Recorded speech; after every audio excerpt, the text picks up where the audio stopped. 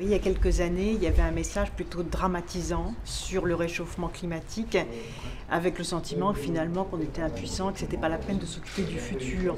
Et ce que je trouve très positif dans l'évolution de l'état d'esprit des scientifiques aujourd'hui, c'est qu'il euh, y a un discours sur le volontarisme dans l'action ils disent aujourd'hui que maîtriser le, réchauffement climatique à 2 degrés, ça, devient possible. Donc 2 degrés, on n'y arrivera pas. Hein. Vous avez bien compris qu'on sera plutôt à 3 ou 4 degrés, même avec euh, de gros efforts aujourd'hui.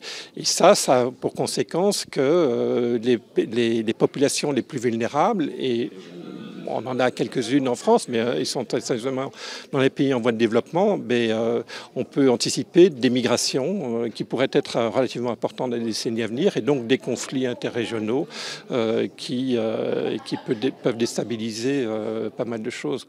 Aujourd'hui, les politiciens ne sont pas incités à, agir sur, sur, le climat.